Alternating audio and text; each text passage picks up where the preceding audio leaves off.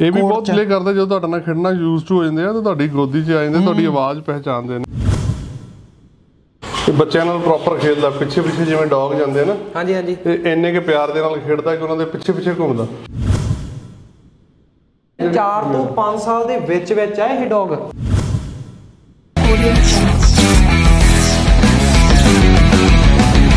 ਹਾਂਜੀ ਦੋਸਤੋ ਸਤਿ ਸ਼੍ਰੀ ਅਕਾਲ ਜੀ। ਮੈਂ ਤੁਹਾਡਾ ਆਪਣਾ ਪੀਐਸ ਡਵਾਲ ਆ ਗਿਆ ਇੱਕ ਹੋਰ ਵਲੌਗ ਲੈ ਕੇ। ਤੇ ਅੱਜ ਦਾ ਜਿਹੜਾ ਵਲੌਗ ਆ, ਵੈਸੇ ਤੁਸੀਂ ਥੰਬਨੇਲ ਤੇ ਟਾਈਟਲ ਦੇਖ ਕੇ ਪਤਾ ਤੁਹਾਨੂੰ ਲੱਗੇ ਗਿਆ ਹੋਣਾ ਆ। ਮੈਂ ਅੱਜ ਲੈ ਕੇ ਆਇਆ ਤੁਹਾਨੂੰ ਪੰਜਾਬ ਪੈਟ ਪੁਆਇੰਟ ਕੀ ਹੈਗਾ ਜੀ ਫਗਵਾੜੇ ਦੇ ਵਿੱਚ। ਭਾਜੀ ਉਹਨਾਂ ਨਾਲ ਕਰਦੇ ਆ ਜੀ ਆਪਾਂ ਗੱਲਬਾਤ ਜਾ ਕੇ ਪੰਜਾਬ ਪੈਟ ਪੁਆਇੰਟ ਦੇ ਅੰਦਰ, ਕਿ ਉਹਨਾਂ ਕੋਲ ਕਿਹੜੇ ਕਿਹੜੇ ਪੈਟਸ ਨੇ ਤੇ ਅਸੀਂ ਪੈਟ ਦੀ ਸਹੀ ਕੇਅਰ ਆ, ਉਹ ਕਿੱਦਾਂ ਕਰ ਸਕਦੇ ਆ। ਚਲੋ ਸਿੱਧਾ ਚੱਲਦੇ ਆ ਆਪਾਂ ਪੰਜਾਬ ਪੈਟ ਪੁਆਇੰਟ ਦੇ ਅੰਦਰ।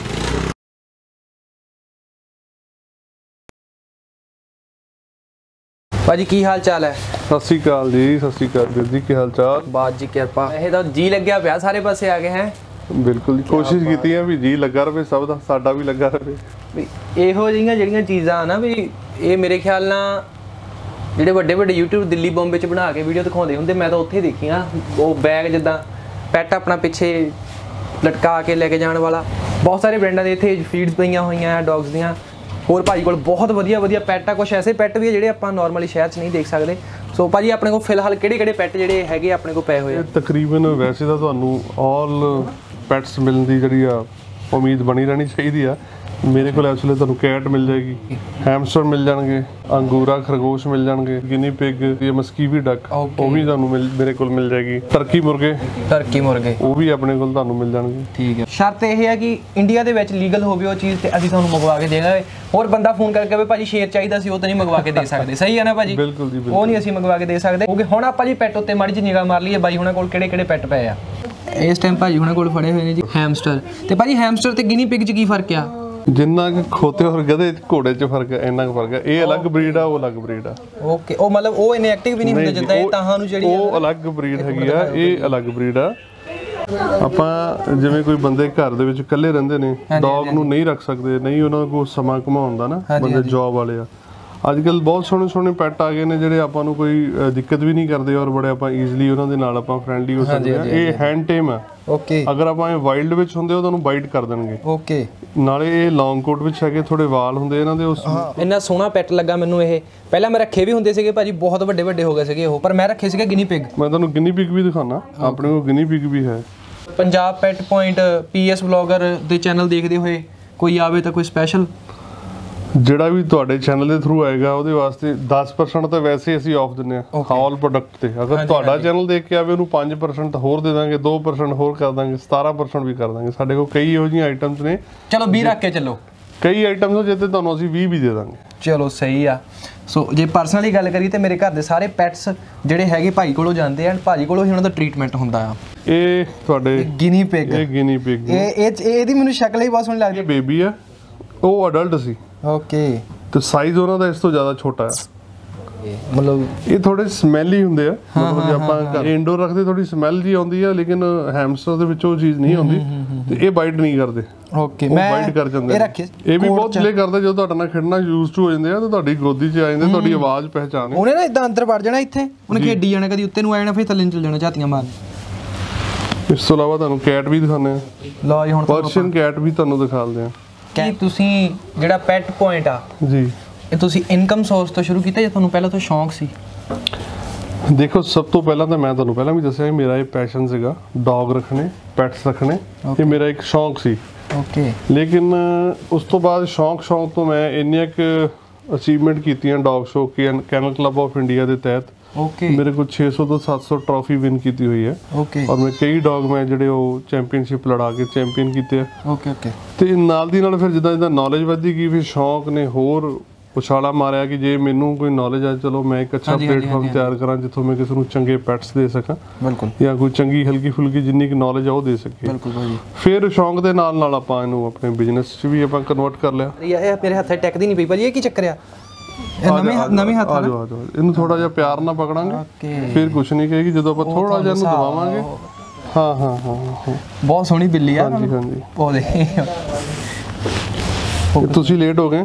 ਮੇਰੇ ਕੋਲ ਚਾਰ ਸੀਗੇ ਬੇਬੀ ਮੈਂ ਫੋਟੋ ਦੇਖ ਲਈ ਸੀ ਉਹ ਮੈਂ ਤੁਹਾਨੂੰ ਵਿੱਚ ਸ਼ੋਅ ਜ਼ਰੂਰ ਕਰ ਦੂੰਗਾ ਤਿੰਨ ਸੇਲ ਹੋ ਗਿਆ। ਔਰ ਇੱਕ ਹੀ ਮੇਰੇ ਕੋਲ ਰਹਿ ਗਿਆ। ਤੁਹਾਨੂੰ ਸਾਰਾ ਪਤਾ ਲੱਗਾ। ਹੁਣ ਆਪਾਂ ਇੱਕ ਵਾਰੀ ਗੱਲ ਕਰ ਲਈਏ ਕਿ ਅਸੈਸਰੀਜ਼ ਦੀ। ਬਹੁਤ ਲੋਕਾਂ ਨੂੰ ਅਸੈਸਰੀਜ਼ ਨਹੀਂ ਪਤਾ ਹੋਊਗਾ। ਤੁਹਾਡੇ ਕੋਲ ਕਿਹੜੀ ਕਿਹੜੀ ਮੇਨ ਅਸੈਸਰੀਜ਼ ਜਿਹੜੀਆਂ ਮੌਜੂਦ ਪਈਆਂ ਇਸ ਟਾਈਮ ਦੇਖੋ ਵੀਰ ਐਕਸੈਸਰੀਜ਼ ਦੇ ਵਿੱਚ ਤੇ ਬਹੁਤ ਤਰ੍ਹਾਂ ਦੀ ਵੈਰਾਈਟੀ ਆ ਗਈ ਆ।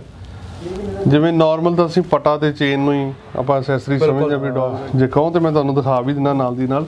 ਓਕੇ ਯਾ ਆਈ ਹੋਪ ਅੱਜ ਕੱਲ ਆ ਹਾਰਨੈਸ ਇਹਨੂੰ ਕਿਹਾ ਜਾਂਦਾ। ਹਾਂਜੀ ਹਾਂਜੀ। ਇਹ ਇੰਪੋਰਟ ਕੁਆਲਿਟੀ ਦਾ ਜਿਹੜਾ ਮਾਲ ਹੈਗਾ। ਡਿਫਰੈਂਟ ਔਰ ਇਹ ਫੈਂਸੀ ਵੀ ਹੈ ਇਹਦੇ ਨਾਲ। ਡੌਗ ਦੇ ਗਲੇ ਨੂੰ ਥੋੜੀ ਖਿੱਚ ਘੱਟ ਪੈਂਦੀ ਹੈ। ਜਿਹੜੇ ਡੌਗ ਬੜੇ ਸ਼ਾਂਤ ਚੱਲਦੇ ਆ ਉੱਥੇ ਵੀ ਵਰਤਿਆ ਜਾਂਦਾ ਜਾਂ ਜਿਹੜੇ ਲੋਕ ਡੌਗ ਤੋਂ ਐਕਸਰਸਾਈਜ਼ ਕਰਾਉਂਦੇ ਆਪਾਂ ਇਹਨੂੰ ਉੱਥੇ ਵੀ ਵਰਤਦੇ ਆ।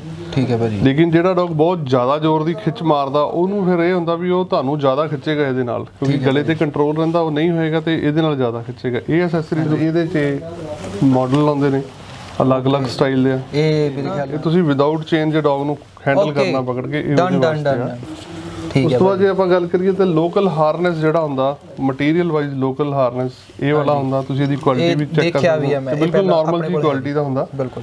ਅਗਰ ਆਪਾਂ ਅੱਛੀ ਕੁਆਲਿਟੀ 'ਚ ਆਪਾਂ ਚੱਲਾਂਗੇ ਉਸੇ ਵਿੱਚ ਫਿਰ ਕੁਆਲਿਟੀ ਵਾਈਜ਼ ਜੇ ਬੈਟਰ ਚੱਲਣਾ ਫਿਰ ਇਹ ਕੁਆਲਿਟੀ ਉਸ ਤੋਂ ਉੱਪਰ ਆ ਜਾਂਦੀ ਹੈ। ਓਕੇ ਫਿਰ ਰਿਲੀਸਿਸ ਆਉਂਦੀਆਂ ਨੇ ਕਾਲਰਸ ਆ ਗਏ ਬੈਲ ਆਉਂਦੀਆਂ ਗਲੇ 'ਚ ਪਾਉਣ ਵਾਲੀਆਂ। ਕਾਲਰਸ ਵਿੱਚ ਬਹੁਤ ਤਰ੍ਹਾਂ ਦੀ ਵੈਰਾਈਟੀ ਆ ਗਈ ਲੋਕਲ ਮੇਡ ਆ ਗਿਆ ਇੰਪੋਰਟਡ ਆ ਗਿਆ।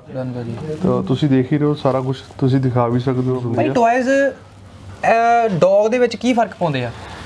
ਦੇਖੋ ਇੱਕ ਤਾਂ ਡੌਗ ਨੂੰ ਆਦਤ ਹੁੰਦੀ ਹੈ ਜਦੋਂ ਬੱਚਾ ਗਰੋਥ ਕਰਦਾ ਉਹ ਹਰ ਚੀਜ਼ ਨੂੰ ਬਾਈਟ ਕਰਦਾ। ਤੁਸੀਂ ਦੇਖਿਆ ਹੋਣਾ ਤੁਹਾਡੇ ਘਰ ਵੀ ਡੌਗ ਜਿਹੜਾ ਆਪਾਂ ਕੋਕਰ ਦਿੱਤਾ ਹਾਂਜੀ ਹਾਂਜੀ ਹਾਂਜੀ। ਉਹ ਤੁਹਾਡੀਆਂ ਪਹਿਲਾਂ ਮੋਰੀਆਂ ਪੈਂਟ ਦੀਆਂ ਜਾਂ ਸਲਵਾਰ ਦੀਆਂ ਜਾਂ ਸ਼ੂਜ਼ ਜਾਂ ਸੌਕਸ ਨੂੰ ਉਹ ਕਰਦਾ। ਉਹਨੂੰ ਬਿਜ਼ੀ ਕਰਨ ਵਾਸਤੇ ਟੌਏ ਦਿੱਤੇ ਜਾਂਦੇ ਨੇ ਜਾਂ ਡੌਗ ਦਾ ਜਿਹੜਾ ਆਪਾਂ ਧਿਆਨ ਆ ਡਿਵਰਟ ਕਰਨ ਲਈ ਆਪਾਂ ਚੀਜ਼ ਦਿੰਨੇ ਆ। ਇੱਕ ਬਿਸਲਿੰਗ ਦੀ ਆਵਾਜ਼ ਆਉਂਦੀ ਆ ਡੌਗ ਅਟਰੈਕਟ ਹੁੰਦਾ। ਤੇ ਉਹਦੇ ਵਾਸਤੇ ਆ ਦੂਸਰਾ ਪਲੇ ਕਰਦਾ ਆ ਤੁਸੀਂ ਉਹਨੂੰ ਥਕਾਣਾ ਆ ਖਿਡਾਣਾ ਆ ਉਹਦੀ એનર્ਜੀ ਵੇਸਟ ਕਰਨੀ ਆ। ਉੱਥੇ ਆਪਾਂ ਯੂਜ਼ ਕਰਦੇ ਉਹਨੂੰ ਬੇਸਿਕਲੀ ਤੇ ਭਾਜੀ ਮੈਂ ਆਪਣੇ ਨਾਲ ਸਪੈਸ਼ਲ ਜਿਹੜੇ ਮੇਰੇ ਦੋਸਤਾਂ ਨੇ ਪੈਟ ਰੱਖੇ ਹੋਏ ਮੈਂ ਉਹਨਾਂ ਤੋਂ ਕੁਐਸਚਨ ਪੁੱਛੇ ਸੀਗੇ WhatsApp ਤੇ। ਔਰ ਉਹਨਾਂ ਨੇ ਮੈਨੂੰ ਕੁਐਸਚਨ ਵਿੱਚੋਂ ਸਭ ਤੋਂ ਮੇਨ ਕੁਐਸਚਨ ਇਹੀ ਚੱਲਦਾ ਆ ਰਿਹਾ ਕਿ ਅਸੀਂ ਆਪਣੇ ਪੈਟ ਨੂੰ ਕਿਸ ਤਰੀਕੇ ਨਾਲ ਟ੍ਰੇਨ ਕਰੀਏ ਕਿ ਹੁਣ ਮੋਸਟਲੀ ਜਿੱਦਾਂ ਕਿ ਤੁਸੀਂ ਗੱਲ ਕਰਦੇ ਹਟੇ ਆ। ਜੀ। ਕਿ ਖਰਾਬੀ ਬਹੁਤ ਕਰਦੇ ਨੇ ਹੈਨਾ? ਬਹੁਤ ਪੈਟਸ ਨੂੰ ਆਦਤ ਹੁੰਦੀ ਕਿ ਆ ਕੇ ਬੈਠਣਾ ਨੂੰ ਮਨਾ ਕਰੀਏ ਨਾ ਤਾਂ ਵੀ ਉਹ ਜਾਣ ਕੇ ਵਿੱਚ ਆ ਕੇ ਬੈਠਣਗੇ ਕੁੱਟ ਖਾਣ ਤੋਂ ਬਾਅਦ ਵਿੱਚ ਵੀ। ਦੇਖੋ, ਇਹ ਦੋ ਚੀਜ਼ਾਂ ਜੀ। ਇਹ ਡੌਗ ਦੀ ਆਦਤ ਘੱਟ ਖਰਾਬ ਹੁੰਦੀ ਹੈ। ਸਟਾਰਟਿੰਗ 'ਚ ਪਹਿਲਾਂ ਸਾਡੀ ਖਰਾਬ ਹੁੰਦੀ ਹੈ ਕਿ ਅਸੀਂ ਉਹ ਆਦਤ ਉਹਨੂੰ ਆਪ ਪਾਉਂਦੇ ਹਾਂ। ਹਾਂਜੀ ਡੇ 1 ਤੋਂ ਡੌਗ ਨੂੰ ਅਗਰ ਆਪਾਂ ਅੰਡਰ ਕਮਾਂਡ ਰੱਖਾਂਗੇ ਕਦੀ ਵੀ ਕੋਈ ਡੌਗ ਕੋਈ ਪੈਟਸ ਤੁਹਾਡਾ ਕਹਿਣਾ ਨਹੀਂ ਮੋੜੇਗਾ। ਜਦੋਂ ਤੁਸੀਂ ਕੁਝ ਖਾਣਾ ਖਾਣ ਲੱਗੇ ਆ ਉਹਨੂੰ ਆਪਣੇ ਖਾਣੇ 'ਚੋਂ ਬਾਈਟ ਦਿੰਦੇ ਹੋ। ਤਾਂ ਨੈਚੁਰਲੀ ਉਹਨੂੰ ਐ ਲੱਗੇਗਾ ਕਿ ਹਰ ਵਾਰ ਜਦੋਂ ਇਹ ਖਾਣਾ ਖਾਂਦੇ ਆ ਮੈਨੂੰ ਕੁਝ ਨਾ ਕੁਝ ਦੇਣਗੇ। ਬਿਲਕੁਲ। ਤੇ ਤੁਹਾਡੇ ਵਿੱਚ ਆ ਕੇ ਬੈਠੇਗਾ। ਅੱਛਾ ਜੀ। ਤੁਹਾਨੂੰ ਦੇ ਉਹ ਕੁਝ ਟਾਈਮ ਲਈ ਆਦਤਾਂ ਚੰਗੀਆਂ ਲੱਗਦੀਆਂ। ਪਰ ਇੱਕ ਟਾਈਮ ਇਹੋ ਜਿਹਾ ਆ ਜਾਂਦਾ ਤੁਹਾਡੇ ਘਰੇ ਕੋਈ ਗੈਸਟ ਆਉਂਦੇ ਆ ਜਾਂ ਕੁਝ ਉਹ ਲੋਕ ਉਹਨੂੰ ਥੋੜਾ ਜਿਹਾ ਹੋਰ ਤਰ੍ਹਾਂ ਮਹਿਸੂਸ ਕਰਦੇ। ਇਸ ਲਈ ਜਦੋਂ ਡੇ 1 ਤੋਂ ਆਪਾਂ ਆਪਣਾ ਡੌਗ ਰੱਖਦੇ ਆ ਕੋਸ਼ਿਸ਼ ਕਰੋ ਉਹਨੂੰ ਆਪਣੀ ਕਮਾਂਡ ਦੇ ਤਹਿਤ ਰੱਖੋ ਪਿਆਰ ਨਾਲ ਰੱਖੋ ਕਦੀ ਡੌਗ ਨੂੰ ਮਾਰੋ ਨਾ। ਤੇ ਵਾਧੇ ਆਪਾਂ ਅੱਗੇ ਨੂੰ ਦੇਖਦੇ ਹਾਂ ਹੋਰ ਭਾਜੀ ਕੋਲ ਕਿਹੜੇ ਕਿਹੜੇ ਪੈਟਸ ਪਏ ਹੋਏ ਨੇ। ਆ ਜਾਓ। ਸੋ ਭਾਜੀ ਦੱਸੋ ਭਾਜੀ ਕੀ ਹਿਸਾਬ ਹੈ ਇਹਦਾ? ਇਹ ਹੈਗਾ ਜੀ ਜਰਮਨ ਅੰਗੂਰਾ ਰੈਬਿਟਸ ਆ ਅੰਗੂਰਾ। ਜਰਮਨ ਅੰਗੂਰਾ। ਤੁਸੀਂ ਬੇਸਿਕਲੀ ਇਹਨੂੰ ਠੰਡੇ ਏਰੀਆ ਦੇ ਵਿੱਚ ਆਪਾਂ ਇਹਨੂੰ ਜ਼ਿਆਦਾ ਦੇਖਦੇ ਆ ਤੇ ਫਰ ਇਹਦੀ ਵਿਕਦੀ ਹੈ ਜਿਹੜੇ ਲੋਕ ਇਹਨੂੰ ਵਾਲ ਜਿਹੜੇ ਲੋਕ ਇਹਦੀ ਬਰੀਡਿੰਗ ਕਰਦੇ ਨੇ ਜਿਹੜੇ ਫਾਰਮ ਹਾਊਸ ਬਣਾਉਂਦੇ ਨੇ। ਉੱਥੇ ਇਹਦੀ ਫਰ ਜਿਹੜੀ ਉਹ ਵਿਕਦੀ ਹੈ। ਨਹੀਂ ਉਹ ਫਿਰ ਕਿਸ ਚੀਜ਼ ਯੂਜ਼ ਹੁੰਦੀ ਹੈ? ਜਿਹੜੇ ਤੁਸੀਂ ਆ ਵੂਲ ਬਣਦੀ ਹੈ। ਓਕੇ ਅੰਗੂਰਾ ਦੀ ਵੂਲ ਸਪੈਸ਼ਲ ਬਣਦੀ ਹੈ। ਆ ਜਿਹੜੀ ਹੈਗੀ ਫੀਮੇਲ ਓਕੇ ਭਾਜੀ। ਇਹ ਮੇਲ ਹੈਗਾ ਤੇ ਵਾਲ ਕੱਟੇ ਹੋਏ ਨੇ ਵੈਸੇ ਹੀ ਵੇਚਣ ਲਈ ਨਹੀਂ। ਡਨ ਭਾਜੀ। ਵੈਸੇ ਹੀ ਸ਼ੌਂਕੀਆ ਓਕੇ ਓਕੇ ਓਕੇ ਇਹ ਸਾਡਾ ਜਿਹੜਾ ਮੇਲ ਹੈਗਾ ਇਹ ਬੱਚਿਆਂ ਨਾਲ ਪ੍ਰੋਪਰ ਖੇਡਦਾ ਪਿੱਛੇ ਪਿੱਛੇ ਜਿਵੇਂ ਡੌਗ ਜਾਂਦੇ ਆ ਨਾ ਹਾਂਜੀ ਹਾਂਜੀ। ਇਹ ਇੰਨੇ ਕੇ ਪਿਆਰ ਦੇ ਨਾਲ ਖੇਡਦਾ ਕਿ ਉਹਨਾਂ ਦੇ ਪਿੱਛੇ ਪਿੱਛੇ ਘੁੰਮਦਾ। ਅੱਛਾ ਜੀ ਮਤਲਬ ਇੰਨਾ ਇਹਨਾਂ ਇੰਨਾ ਦਿਮਾਗ ਹੈਗਾ। ਆ ਜੇ ਬੇਬੀ ਹੈਗਾ ਓਕੇ। ਇਹ ਵੀ ਮੇਲ ਹੈਗਾ। ਓਕੇ। ਇਹ ਇਸੇ ਮੇਲ ਦਾ ਬੱਚਾ ਹੈ। ਅੱਛਾ ਜੀ। ਹਾਂਜੀ। ਆ ਤੁਸੀਂ ਮੈਨੂੰ ਆ ਫੀਮੇਲ ਕੱਢ ਕੇ ਦਿਖਾ ਸਕਦੇ ਆ? ਉਹ ਥੋੜੀ ਅਗਰੈਸਿਵ ਹੋਈ ਉਹ। ਬੇਬੀਜ਼ ਤੇ ਹੈਗੀ ਆ। ਉਹ ਮੈਂ ਕੱਢ ਲੈਣਾ ਠੀਕ ਹੈ ਇਹ ਮੈਂ ਬੜਾ ਫੜ ਕੇ ਦੇਖਣਾ। ਹੈ ਵਾਹ। ਓਏ ਓਏ ਓਏ ਓਏ ਓਏ ਓਏ ਦੇਖੋ ਬਈ ਬਹੁਤ ਵੱਡੀ ਚੀਜ਼ ਆ। ਇੱਕ ਥੰਬਨੇਲ ਲਈ ਫੋਟੋ ਹੋ ਜਾਵੇ ਇੱਕ ਮਿੰਟ। ਇੱਕ ਮਿੰਟ। ਭਾਜੀ ਇਹ ਇਹਨੂੰ ਬੰਦ ਕਰ ਦਿਓ ਮਾੜਾ ਜਿਹਾ ਮੈਨੂੰ ਡਰ ਲੱਗ ਰਿਹਾ। ਇਹ ਭਰਾਵਾ। ਔਰ ਭਾਜੀ ਇਹ ਕਿੰਨੇ ਦਾ ਪੇਅਰ ਆ? ਭਾਜੀ ਜਿਹੜੇ ਬੱਚੇ ਹੁੰਦੇ ਤਕਰੀਬਨ 7000 ਤੋਂ ਲੈ ਕੇ 8000 ਦੇ ਆਸ-ਪਾਸ ਹੁੰਦੇ ਆ। ਓਕੇ। ਅਡਲਟ ਬੇਲ ਦੀ ਤਾਂ ਕੋਈ ਕੀਮਤ ਹੀ ਨਹੀਂ ਤੇ ਜਿਹਦਾ ਕੋਲ ਬਰੀਡ ਹੋ ਰਿਹਾ ਉਹ ਵੇਚਦਾ ਨਹੀਂ। ਅਗਰ ਆਪਾਂ ਉਦਾਂ ਨਾਰਮਲ ਲੈਣੇ ਹੋਣ ਕਿਸੇ ਦੇ ਕੋਲੋਂ ਤੇ 12 ਤੋਂ 15000 ਦੇ ਆਸ-ਪਾਸ ਦੀ ਕੀਮਤ ਹੁੰਦੀ ਆ ਅੰਗੂਰਾ ਦੀ ਜਿਹੜੇ ਸਹੀ ਅੰਗੂਰਾ ਇੱਧਰ ਉਹ ਬਹੁਤ ਭਾਵੁਕ ਹੋ ਰਹੇ ਨੇ ਮੈਂ ਕਹਿੰਦਾ ਉਹਨਾਂ ਨੂੰ। ਕੱਢੀ 4 ਤੋਂ 5 ਸਾਲ ਦੇ ਵਿੱਚ ਵਿੱਚ ਆ ਇਹ ਡੌਗ ਤੁਸੀਂ ਦੇਖ ਸਕਦੇ ਹੋ। ਕੀ ਬਾਤ ਆ ਮਤਲਬ ਹੈ? ਬਸ ਲੌਂਗ ਕੋਟ ਦੇ ਵਿੱਚ ਆ। ਇਹ ਸਮੂਥ ਕੋਟ ਇਹ ਫੀਮੇਲ ਸਮੂਥ ਕੋਟ ਆ ਬਾਊ ਜੀ ਡੌਗ ਇਹ 3 ਸਾਲ ਦਾ ਆ। ਫੀਮੇਲ ਆ ਜੀ ਇਹ।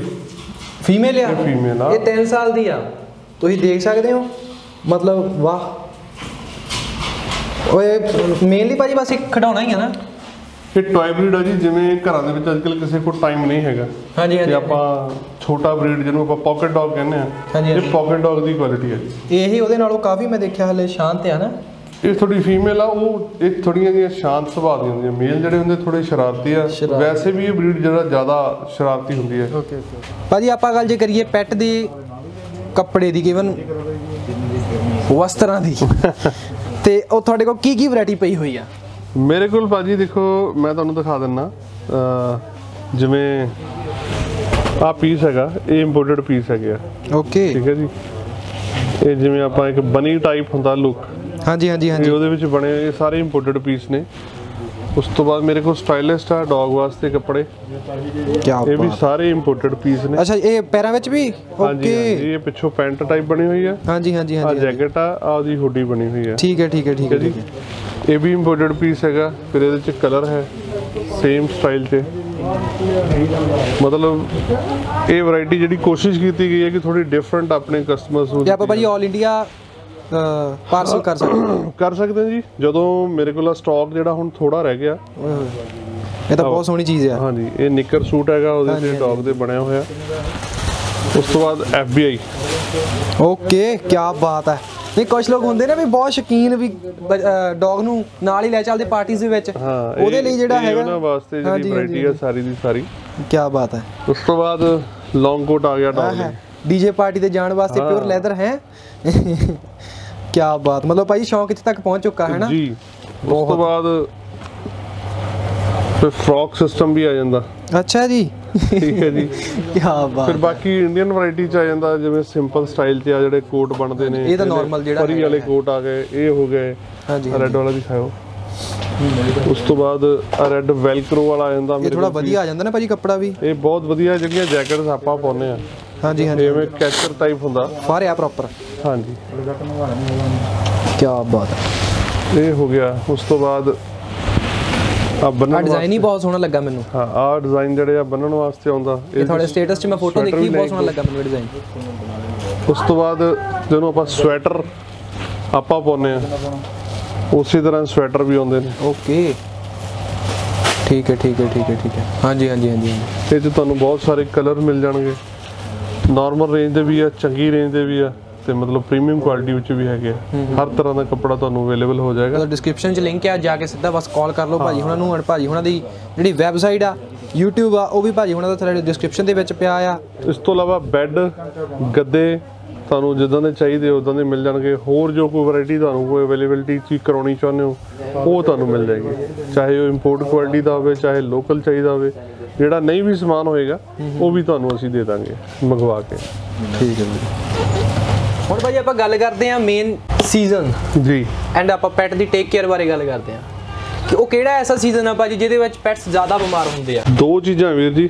ਇੱਕ ਤੇ ਜਦੋਂ ਗਰਮੀ ਤੋਂ ਸਰਦੀ ਆਉਂਦੀ ਹੈ ਜਾਂ ਸਰਦੀ ਤੋਂ ਗਰਮੀ ਆਏਗੀ ਇਹ ਵੈਦਰ ਸ਼ਿਫਟਿੰਗ ਦਾ ਜਿਹਨੂੰ ਆਪਾਂ ਸੀਜ਼ਨ ਕਹਿ ਦਿੰਦੇ ਆ। ਉਹ ਸੀਜ਼ਨ ਹਮੇਸ਼ਾ ਹੀ ਜਿਹੜੇ ਛੋਟੇ ਬੱਚੇ ਆ ਉਹਨਾਂ ਵਾਸਤੇ ਜਿਹੜਾ ਖਤਰਨਾਕ ਹੁੰਦਾ। ਇਹ ਕੋਸ਼ਿਸ਼ ਕਰੀਦੀ ਆ ਜਦੋਂ ਵੀ ਅਸੀਂ ਛੋਟਾ ਬੱਚਾ ਕੋਈ ਲੈਨੇ ਆ ਆਪਣੇ ਘਰ 'ਚ ਲੈ ਕੇ ਆਉਂਦੇ ਆ ਸਭ ਤੋਂ ਪਹਿਲਾਂ ਉਹਨੂੰ ਜਿਸ ਟੈਂਪਰੇਚਰ ਦੇ ਵਿੱਚ ਅਸੀਂ ਪਾਲ ਰਹੇ ਹਾਂ ਮੰਨ ਲਓ ਜੇ ਸਾਡਾ ਰੂਮ ਟੈਂਪਰੇਚਰ ਦਾ 28 ਤੋਂ 30 ਡਿਗਰੀ ਦਾ ਅਸੀਂ ਮੇਨਟੇਨ ਕੀਤਾ ਹੋਇਆ ਜਿੱਥੇ ਅਸੀਂ ਆਪ ਰਹਿ ਰਹੇ ਹਾਂ ਤੇ ਬੱਚੇ ਨੂੰ ਉੱਥੇ ਹੀ ਪਾਲੋ ਘੱਟੋ ਘੱਟ 2-4 ਮਹੀਨੇ ਜਿਹੜੀ ਸਰਦੀ ਦੇ ਉਹਨੂੰ ਠੰਡ ਤੋਂ ਸਿੱਧੀ ਹਵਾ ਤੋਂ ਬਚਾਉਣਾ। ਜਿੰਨੀ ਦੇਰ ਤੁਸੀਂ ਉਸ ਚੀਜ਼ ਤੋਂ ਬਚੇ ਰਹੋਗੇ ਬੱਚੇ ਨੂੰ ਗਰਮੀ ਸਰਦੀ ਤੋਂ ਬਚਾਈ ਰੱਖੋਗੇ ਉਹਨੂੰ ਮੇਰੇ ਹਿਸਾਬ ਦੇ ਨਾਲ ਆਪਣੇ ਪਰਸਨਲ ਐਕਸਪੀਰੀਅੰਸ ਦੇ ਨਾਲ ਐਜ਼ ਇੱਕ ਬਰੀਡਰ ਤੁਹਾਨੂੰ ਕਦੀ ਕੋਈ ਦਿੱਕਤ ਨਹੀਂ। ਔਰ ਆਪਾਂ ਮੇਨਲੀ ਜਿਹੜਾ ਆ ਸੀਜ਼ਨ ਚੱਲ ਰਿਹਾ ਆ ਪਰਸਨਲੀ ਮੇਰੇ ਕੋਲ ਵੀ ਇੱਕ ਡੌਗ ਆ। ਜੀ। ਆਪਾਂ ਉਹਦਾ ਰੱਖ ਰਖਾਵ ਇਹਨਾਂ ਦਿਨਾਂ ਦੇ ਵਿੱਚ ਕਿਸ ਤਰੀਕੇ ਨਾਲ ਕਰਨਾ ਕਿ ਉਹਨਾਂ ਨੂੰ ਬੈੱਡਰੂਮ 'ਚ ਹੀ ਰੱਖਿਆ ਜਾਵੇ ਜਾਂ ਕਿਤੇ ਬਾਹਰ ਹੀ ਰੱਖਿਆ ਜਾਵੇ ਜਾਂ ਇੱਕ ਜਗ੍ਹਾ ਤੇ ਜਿਹਦੇ ਨਾਲ ਉਹਨਾਂ ਦਾ ਟੈਂਪਰੇਚਰ ਕੰਟਰੋਲਡ ਰਵੇ ਦੇਖੋ ਵੱਡਾ ਡੌਗ ਜਿਹੜਾ ਹੈ ਨਾ ਉਹਦਾ ਜਿੱਦਾਂ ਸਾਡੀ ਇਮਿਊਨਿਟੀ ਸਟਰੋਂਗ ਹੁੰਦੀ ਹੈ ਇਦਾਂ ਹੀ ਵੱਡੇ ਡੌਗ ਦੀ ਇਮਿਊਨਿਟੀ ਸਟਰੋਂਗ ਹੁੰਦੀ ਹੈ। ਮੇਨ ਹੁੰਦਾ ਵੀ ਉਹਦੀ ਬਿਮਾਰੀਆਂ ਨਾਲ ਲੜਨ ਵਾਲੀ ਸ਼ਕਤੀ ਕਿੰਨੀ ਕਾ ਹੁਣ ਜਿਹੜਾ ਬੱਚਾ 35 40 50 2 ਮਹੀਨੇ 3 ਮਹੀਨੇ 4 ਮਹੀਨੇ ਦੀ ਏਜ ਦਾ ਉਹਦੀ ਇਮਿਊਨਿਟੀ ਤੁਹਾਨੂੰ ਪਤਾ ਕਿੰਨੀ ਸਟਰੋਂਗ ਹੋਏਗੀ। ਇੱਕ ਛੋਟੇ ਬੱਚੇ ਦੀ ਤੇ ਇੱਕ ਵੱਡੇ ਅਡਲਟ ਬੰਦੇ ਦੀ ਕਿੰਨੀ ਫ਼ਰਕ ਹੁੰਦਾ। ਸੋ ਗੱਲ ਉੱਥੇ ਹੀ ਉਹਦੇ ਵਾਸਤੇ ਵੀ ਹੈ ਜਿਹੜਾ ਡੌਗ ਤੁਸੀਂ ਨਾਰਮਲ ਟੈਂਪਰੇਚਰ ਤੇ ਜਿਵੇਂ ਰੱਖ ਰਹੇ ਹੋ ਰੱਖ ਰਖਾ ਉਸੇ ਤਰ੍ਹਾਂ ਕਰੋ। ਹੁਣ ਲੋਕ ਕਈ ਇਹ ਕਹਿਣਗੇ ਕਿ ਜਿਹੜੇ ਡੌਗ ਰਾਤ ਨੂੰ ਹੀ ਕੋਠੇ ਰਹਿੰਦੇ ਨੇ ਜਾਂ ਆਵਾਰਾ ਕੁੱਤੇ ਘੁੰਮਦੇ ਨੇ ਉਹਨਾਂ ਨੂੰ ਤਾਂ ਠੰਡ ਲੱਗਦੀ ਨਹੀਂ। ਬਿਲਕੁਲ। ਉਹ ਨੇਚਰ ਦੇ ਤਹਿਤ ਪਲਦੇ ਨੇ ਉਹਨਾਂ ਨੂੰ ਜਿਹੜੀ ਚੀਜ਼ ਚੰਗੀ ਲੱਗਦੀ ਆ ਕੁਦਰਤੀ ਤੌਰ ਤੇ ਉਹ ਖਾਂਦੇ ਨੇ। ਅਸੀਂ ਸਾਰਾ ਕੁਝ ਆਪਣੇ ਤੌਰ ਤੇ ਡੌਗ ਨੂੰ ਦਿੰਦੇ ਹਾਂ ਆਪਣੀ ਮਰਜ਼ੀ ਦੇ ਨਾਲ। ਤੇ ਕੁਦਰਤ ਨੇ ਇੱਕ ਸਿਸਟਮ ਆਪਣੇ ਅੰਦਰ ਬਣਾਇਆ ਤੁਸੀਂ ਕੋਈ ਵੀ ਬਰਡਸ ਦੇਖੋ ਉਹ ਜਿਹੜਾ ਬਾਹਰੋਂ ਕੰਕਰ ਬੱਟੇ ਜਾਂ ਕੋਈ ਚੀਜ਼ਾਂ ਚੁੱਕ ਕੇ ਖਾਂਦਾ ਉਹਦੀ ਇਮਿਊਨਿਟੀ ਬੜੀ ਸਟਰੋਂਗ ਹੁੰਦੀ ਆ। ਕਿਉਂ? ਕੁਦਰਤ ਨੇ ਉਹਨਾਂ ਨੂੰ ਇੱਕ ਸਿਸਟਮ ਦਿੱਤਾ ਵੀ ਤੁਸੀਂ ਆਹ ਚੀਜ਼ ਖਾਓ ਉਹ ਰੱਬ ਵੱਲੋਂ ਹੀ ਉਹਨਾਂ ਨੂੰ ਸਿਸਟਮ ਆ। ਤੇ ਅਸੀਂ ਆਪਣੇ ਘਰਾਂ ਦੇ ਵਿੱਚ ਕਬੂਤਰ ਰੱਖਦੇ ਆ ਜਾਂ ਮੁਰਗੇ ਰੱਖਦੇ ਆ ਜਾਂ ਹੋਰ ਚੀਜ਼ਾਂ ਰੱਖ- ਅਸੀਂ ਉਹਨਾਂ ਨੂੰ ਆਰਟੀਫੀਸ਼ੀਅਲ ਦਿੰਨੇ ਆ ਜਿੰਨਾ ਵੀ ਆਰਟੀਫੀਸ਼ੀਅਲ ਫੂਡ ਆ ਤੁਹਾਨੂੰ ਪਤਾ ਇੱਕ ਕੁਦਰਤੀ ਤੇ ਇੱਕ ਆਰਟੀਫੀਸ਼ੀਅਲ ਜ਼ਮੀਨ ਅਸਮਾਨ ਦਾ ਫ਼ਰਕ ਹੁੰਦਾ। ਇਮਿਊਨਿਟੀ ਬੂਸਟ ਉਹਨੇ ਕਰਨੀ ਆ ਜੋ ਕੁਦਰਤੀ ਤੌਰ ਤੇ ਆ। ਤੇ ਇਦਾਂ ਹੀ ਜਿਹੜੇ ਸਟਰੀਟ ਡੌਗ ਆ ਤੁਹਾਨੂੰ ਦੇਖਣ ਨੂੰ ਸਰਦੀ ਸ਼ੁਰੂ ਹੁੰਦੇ ਪਹਿਲਾਂ ਵਾਵਾ ਸਾਰੇ ਨਜ਼ਰ ਆਉਣਗੇ।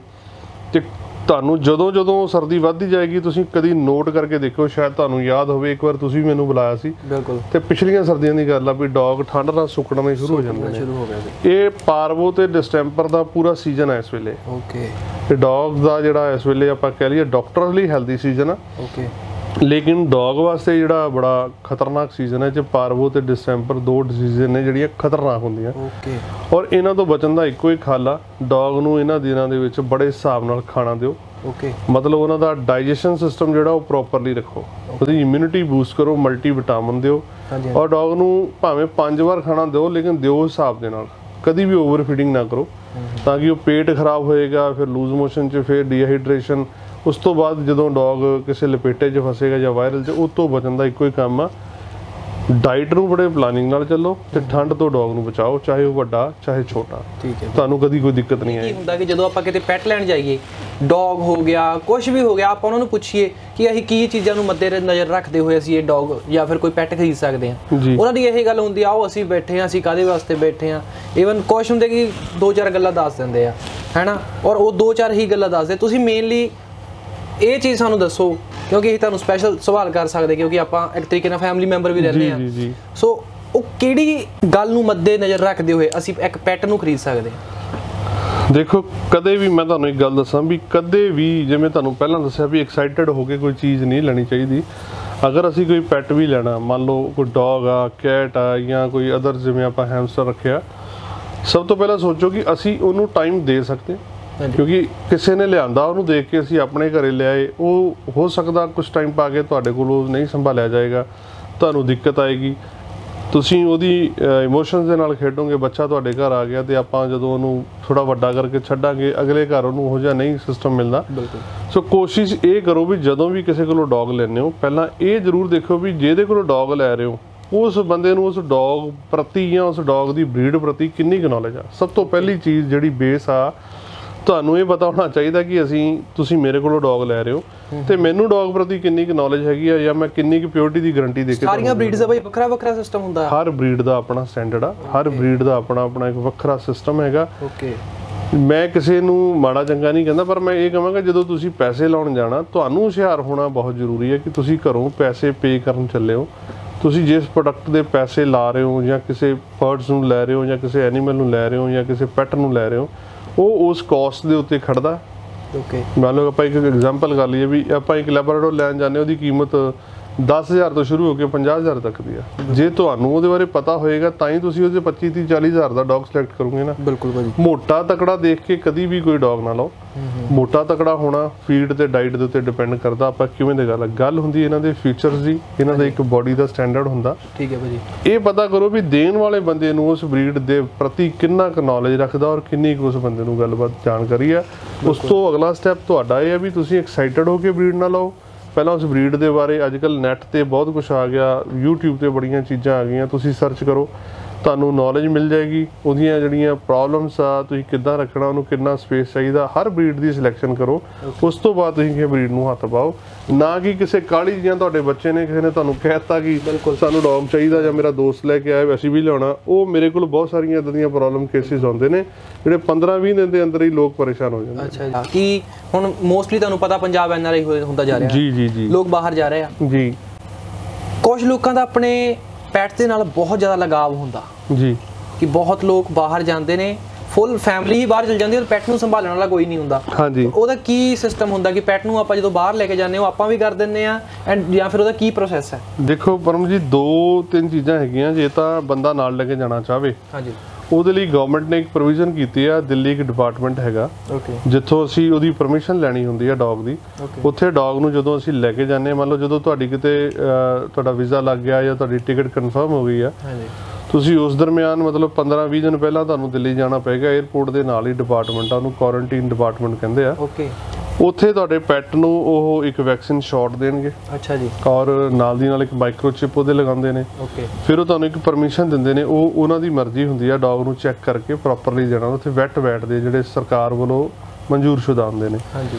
ਫਿਰ ਉਹ ਤੁਹਾਨੂੰ ਪਰਮਿਸ਼ਨ ਦੇਣਗੇ ਫਿਰ ਤੁਸੀਂ ਉਹ ਪਰਮਿਸ਼ਨ ਬਾਹਰ ਭੇਜ ਦਿਓ। ਠੀਕ ਹੈ ਫਿਰ ਉੱਥੋਂ ਅਥਾਰਟੀ ਆਉਂਦੀ ਹੈ ਕਿ ਤੁਸੀਂ ਡੌਗ ਨੂੰ ਉਸ ਕੰਟਰੀ 'ਚ ਲੈਂਡ ਕਰਾਓਗੇ। ਅੱਛਾ ਜੀ। ਫਿਰ ਤੁਹਾਨੂੰ 에ਅਰਲਾਈਨ ਡੌਗ ਛੁਡਵਾਏਗੀ ਠੀਕ ਹੈ ਭਾਜੀ ਮਤਲਬ ਕਿਉਂਕਿ ਬਹੁਤ ਜਦੋਂ ਡੌਗ ਜਾਏਗਾ ਪ੍ਰੋਸੈਸ ਥੋੜਾ ਲੰਬਾ ਲੇਕਿਨ ਚਲੇ ਜਾਂਦਾ। ਬਹੁਤ ਸਾਰੇ ਡੌਗ ਅਸੀਂ ਭੇਜੇ ਵੀ ਆ। ਓਕੇ ਔਰ ਡੌਗ ਨੂੰ ਭੇਜਣ ਵਾਸਤੇ ਤੁਹਾਨੂੰ ਉੱਥੇ ਉਹਨਾਂ ਨੂੰ ਪਹਿਲਾਂ 에ਅਰਲਾਈਨ ਨੂੰ ਇਨਫੋਰਮ ਕਰਨਾ ਪਏਗਾ ਤਾਂ ਕਿ ਜਿੱਥੇ ਕਾਰਗੋ ਵਿੱਚ ਸਮਾਨ ਹੁੰਦਾ ਉੱਥੇ ਉਹਨਾਂ ਨੂੰ ਆਕਸੀਜਨ ਦਾ ਪ੍ਰਬੰਧ ਕਰਨਾ ਪੈਂਦਾ। ਓਕੇ ਫਿਰ ਉਹ ਉਹਦੇ 'ਚ ਕੇਜ ਜਾਂਦਾ ਜਿਵੇਂ ਐਜ਼ ਏ ਆਪਾਂ ਆਪਣਾ ਸਮਾਨ ਲੈ ਕੇ ਜਾਂਦੇ ਆ ਉਹ ਉੱਥੇ ਆਕਸੀਜਨ ਛੱਡ ਕੇ ਲਾਈਵ ਸਟਾਕ ਲੈ ਕੇ ਜਾਂਦੇ ਆ। ਭਾਈ ਹੁਣ ਆਪਾਂ ਤਾਂ ਚੱਲਦੇ ਤੁਹਾਡੇ ਨਿੱਜੀ ਜੀਵਨ ਨਾਲ ਜੀ।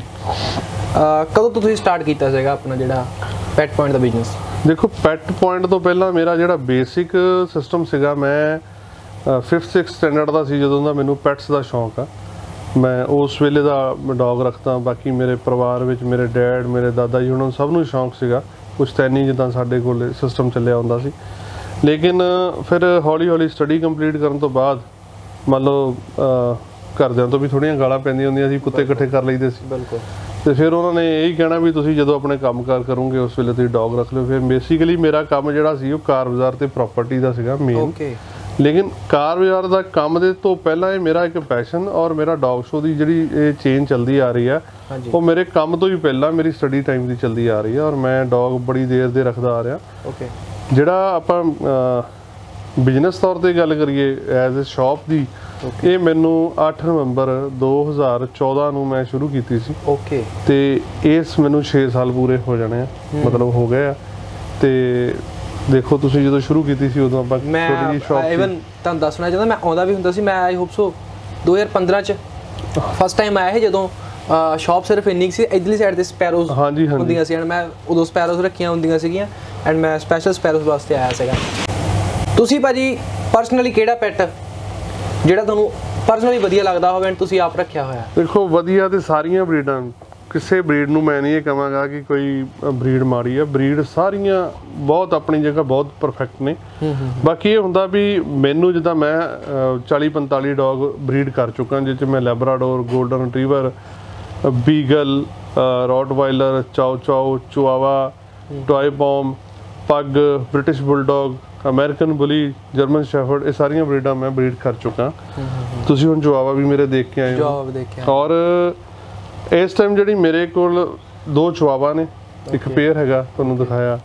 ਇੱਕ ਮੇਰੇ ਕੋਲ ਇੱਕ ਔਕਰ ਸਪੈਨੀਅਲ ਆ ਜਿਹੜੀ ਮੇਰੇ ਕੋਲ ਇੰਡੋਰ 24 ਘੰਟੇ ਸਾਡੇ ਫੈਮਿਲੀ ਦੇ ਵਿੱਚ ਰਹਿੰਦੀ ਆ। ਓਕੇ ਉਹ ਸ਼ਾਇਦ ਤੁਸੀਂ ਵੀ ਇੱਥੇ ਮੇਰੇ ਕੋਲ ਬਹੁਤ ਵਾਰੀ ਦੇਖੀ ਹੋਵੇ। ਦੇਖੀ ਆ ਹਾਂਜੀ। ਤੇ ਉਸ ਤੋਂ ਇਲਾਵਾ ਮੇਰੇ ਕੋਲ ਖਰਗੋਸ਼ ਆ ਉਹ ਵੀ ਮੈਂ ਆਪਣੇ ਐਜ਼ ਅ ਪੈਟ ਰੱਖੇ ਨੇ ਉਹਨਾਂ ਤੋਂ ਮੈਂ ਕੋਈ ਬਿਜ਼ਨਸ ਨਹੀਂ ਕਰਦਾ।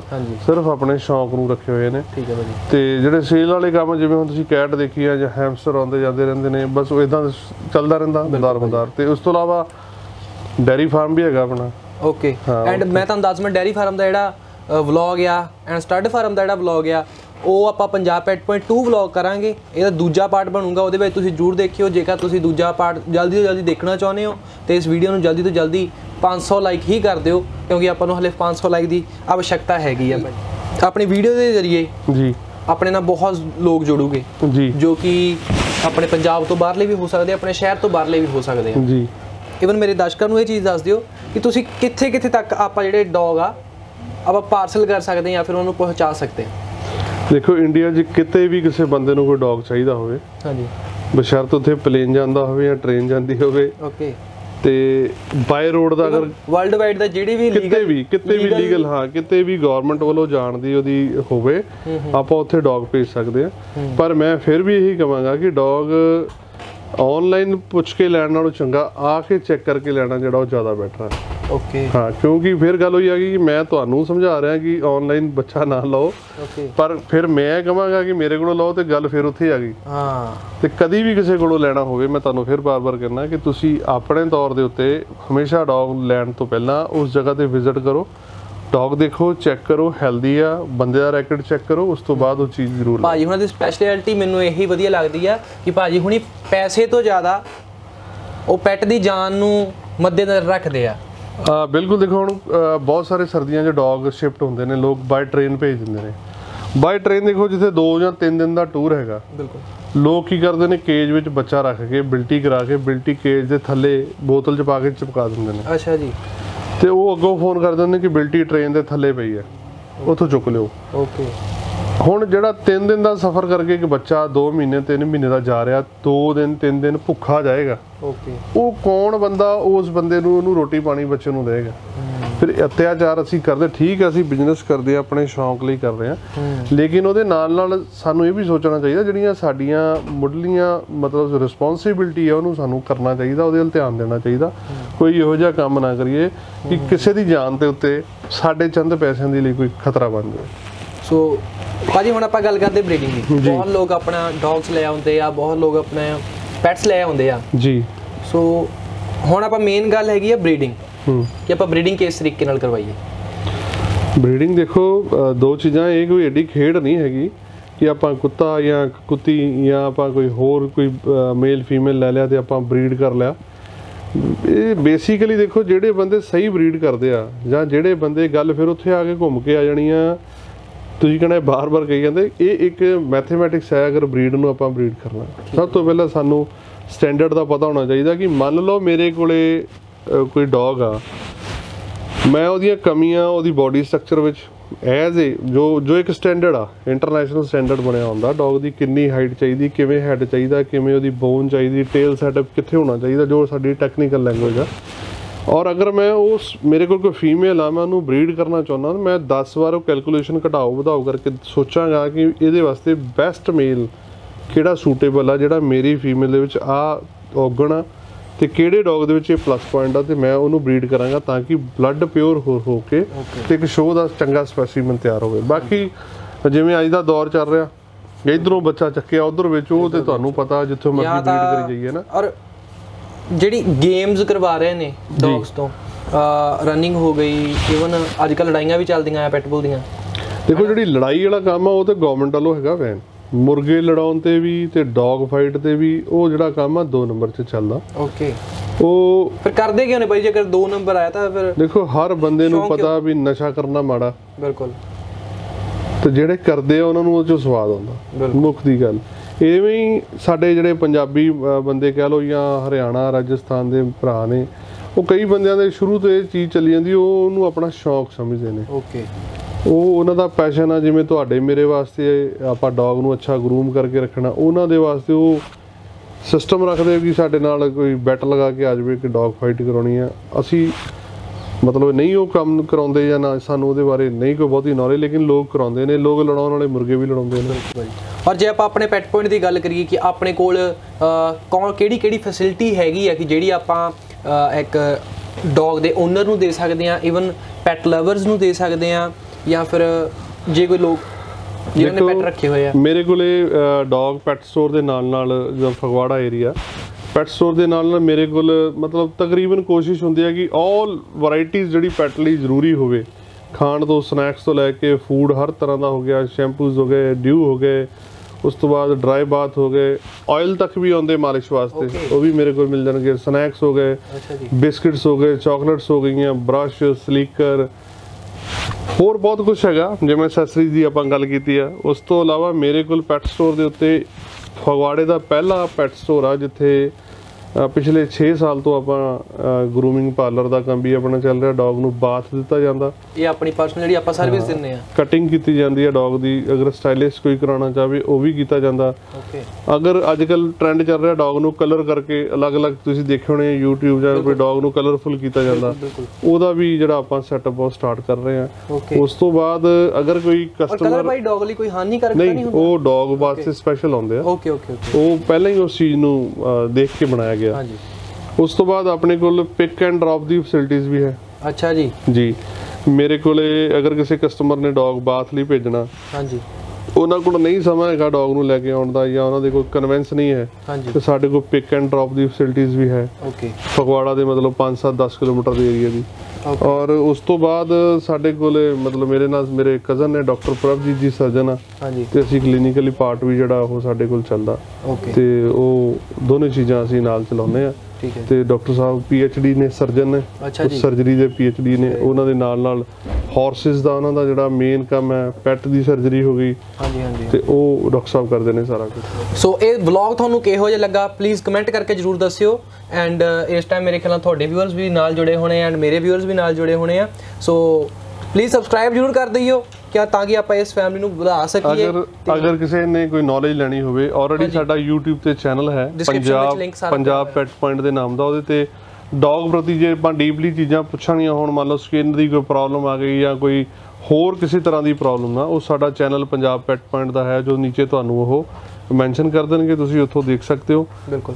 ਤੇ ਬਾਕੀ ਕੋਈ ਵੀ ਜਾਣਕਾਰੀ ਲੈਣੀ ਹੋਵੇ ਤੇ ਨੰਬਰ ਤੁਹਾਨੂੰ ਸਾਡਾ ਦੇ ਦੇਣਗੇ। ਨੰਬਰ ਜਿਹੜਾ ਹੈਗਾ ਉਹ ਵੀ ਸਾਡੇ ਡਿਸਕ੍ਰਿਪਸ਼ਨ ਦੇ ਵਿੱਚ ਪਿਆ ਹੈਗਾ ਆ। ਐਂਡ ਵੀਡੀਓ ਨੂੰ ਲਾਈਕ ਕਰਿਓ ਕਮੈਂਟ ਕਰਿਓ ਐਂਡ ਅੱਗੇ ਤੁਹਾਨੂੰ ਕਿਹੋ ਜਿਹੀ ਵੀਡੀਓ ਚਾਹੀਦੀ ਹੋ ਤੁਸੀਂ ਜਰੂਰ ਦੱਸਿਓ ਐਂਡ ਤੁਹਾਨੂੰ ਇਸ ਵੀਡੀਓ ਤੋਂ ਕੀ ਕੀ ਸਿੱਖਣ ਨੂੰ ਮਿਲਿਆ, ਉਹ ਵੀ ਜਰੂਰ ਦੱਸਿਓ। ਪੰਜਾਬ ਪੈਟ ਪੁਆਇੰਟ ਦੀ ਜਿਹੜੀ ਡੈਰੀ ਵੀਡੀਓ ਆ, ਜਾਂ ਡੈਰੀ ਬਲੌਗ ਆ, ਉਹ ਪਾਰਟ 2 ਮੈਂ ਜਰੂਰ ਜਲਦੀ ਲੈ ਕੇ ਆਉਂਗਾ ਤੁਹਾਡੇ ਸਾਰਿਆਂ ਦੇ ਵਿੱਚ। ਸੋ ਮਿਲਦੇ ਹਾਂ ਬਹੁਤ ਜਲਦੀ ਇੱਕ ਨਵੇਂ ਵਲੌਗ ਦੇ ਨਾਲ। ਸਤਿ ਸ਼੍ਰੀ ਅਕਾਲ।